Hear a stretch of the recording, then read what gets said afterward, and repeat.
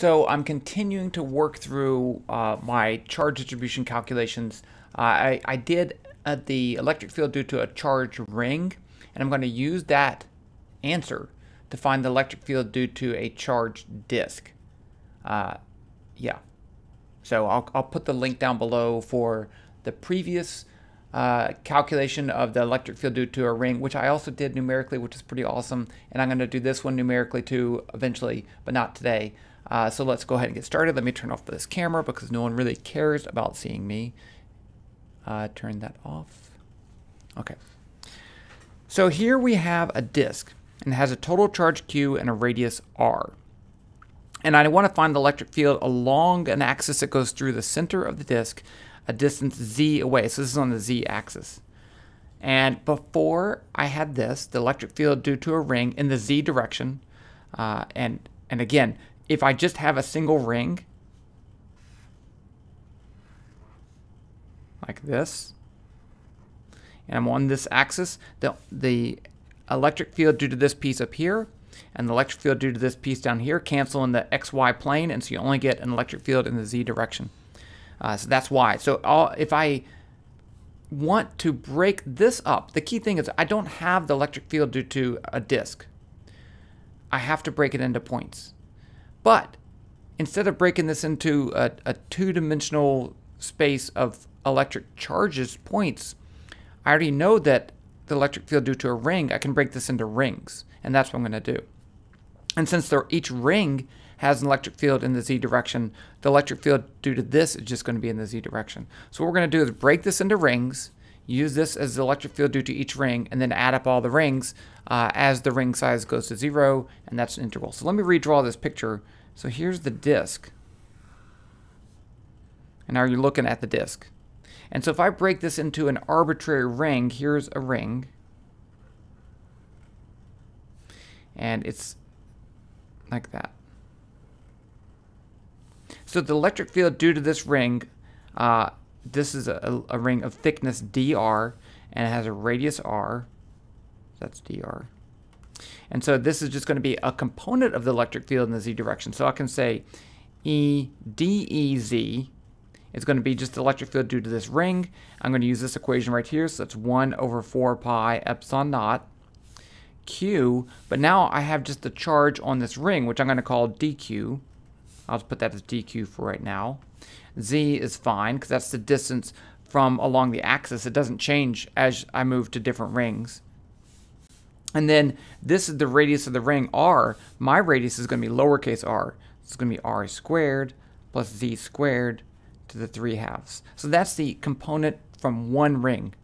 And as I want to add these up, I'm going to add up in the r direction. So all my variables need to be in terms of r. So I have lowercase r, z is not a variable, right, because that's just the distance from the center, but dq is. As I, as I make bigger and bigger rings, I have more charge. So let's look at uh, the charge per area for this ring compared to the charge for area per area for that one. So this total disk has a total charge q and an area of pi big R squared. This ring has a total charge dq now what's the area? If I if I take that and cut it and spread it out, it'd be a rectangle.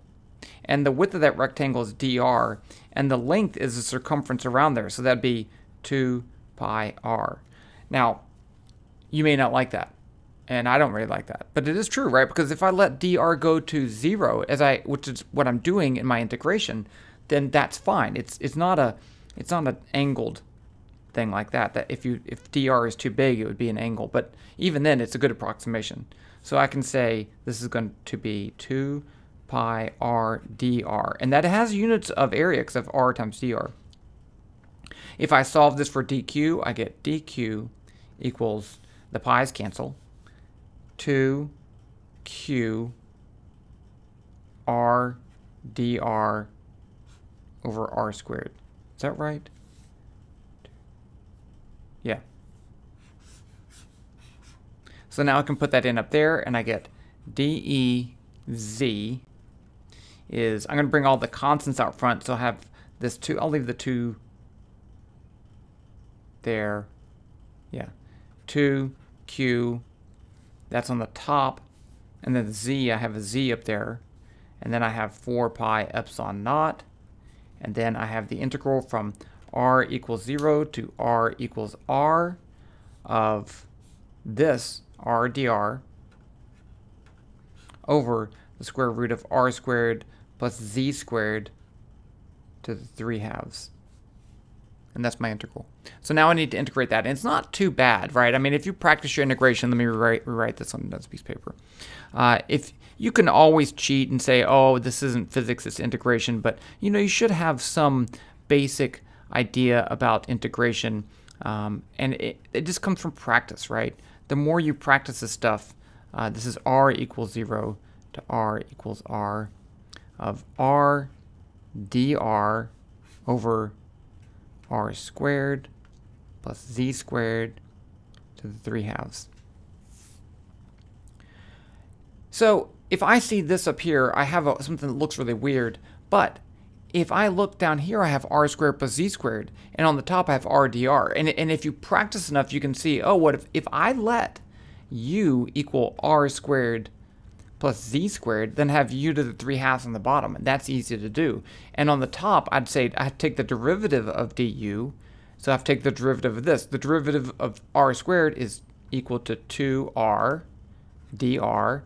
The derivative of z squared is 0 because it's a, it's a parameter. So that means that this is going to be like almost like u du over u to the 3 halves, which I can do. But look at this. If I bring that 2 in there, I got the 2. So now I can write this as qz over 4 pi epsilon naught, the integral from r equals 0 to r. I'm going to leave it like this. And now I have 2r dr, that's du. And then down the bottom I have u to the 3 halves.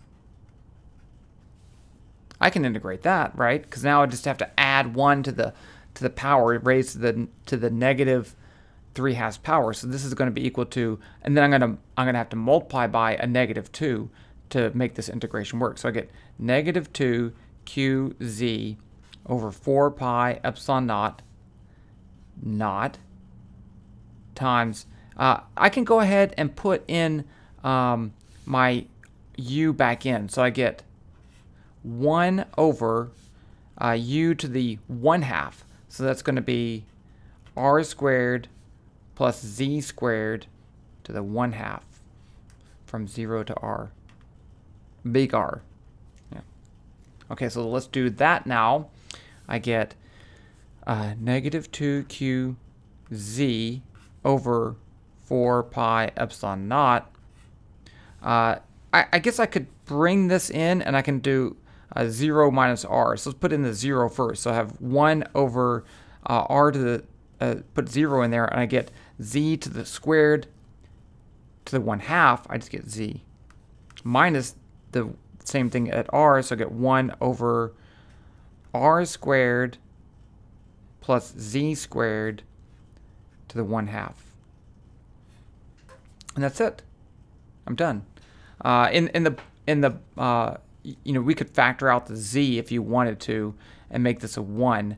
Uh, so, or I br let's bring the z in. So if I bring the z in, I get uh, 2q over 4 pi epsilon naught. Now I have z times over z, so it's 1 minus z squared z over the square root of r squared plus z squared to the 1 half. Okay, now down here, um, I thought there was a shortcut I could get. Q over pi r squared.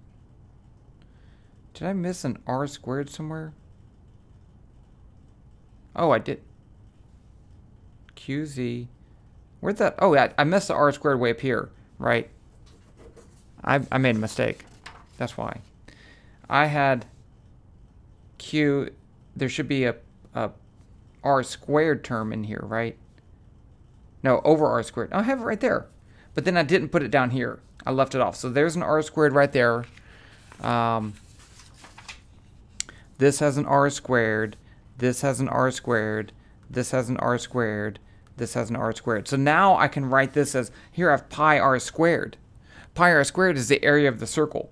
And then I have uh, 2 over 4, so I get, is that right? It should be 1 half. No, I had another, I had another 2. 2 pi, pi r squared. I'm off by a factor of 2. I feel really bad now. I multiplied this by 2 up here, but I think 2. Hmm. Well, this is this definitely have q over pi r squared, so that's going to be uh, q over a. That's epsilon naught. I have that. And then I'm missing a factor of 1 half because I looked this up. z over r squared plus z squared to the 1 half. I mean, I think it's still a pretty good derivation, even though I messed up somewhere a factor of 2. Let's just check. That's good. That's this 2. Right, I had that 2. That was from the from this 2 right down here. Um, then I have d, e, z. There's my 2. That's fine. I left it in there, and I brought it over here into there. And then I integrated, and I got another 2.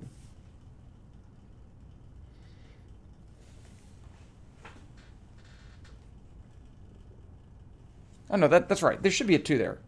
There should be a 2. I didn't make a mistake. I made a mistake up here when I wrote down my answer to check at the end. So that is a 2. So that's it. That's the electric field due to a ring. A disk. I'm sorry, a disk.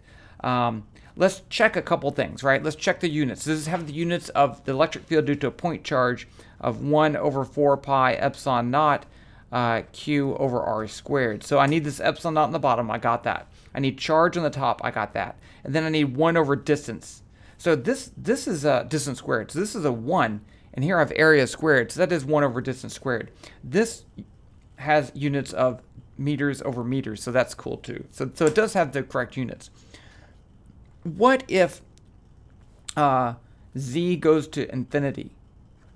As I get really far away from the disk, the electric field should get to zero. So as z goes, gets really big, I have a z getting really big up here, but I have a, a z squared up here um, that also gets big. Uh, if I let, I'm not really sure now because that's square root. If I take the derivative, I think if I take the derivative and use L'Hopital's rule, I'll get a, a 1 on the top, and I'll still get another z down here because there's a z squared. So I will get uh, this is 1 over z, which does go to 0, so that's good. What if r goes to 0? What if r, I mean, yeah, what if r, what if z is much greater than r? Then it should be the electric field due to a point charge. So if z is approximately equal to r, no, if z is much greater than r, then I get just 1, I get z over here. z over z, 1, I get 0. Which is what I thought, right? What if r goes to 0? Just R goes to zero. That's zero. No. Hmm. Okay, that one I need to check. But it should kind of look like the electric field due to a point charge when you're really far away, but not too far away. Okay, so I'm I'm pretty happy with this. So uh, so I can use this. I'm going to use this to make a numerical model and see if I get the same thing. But that'll be in another video. So I will stop there and I'll talk to you guys later. Hope you found that useful.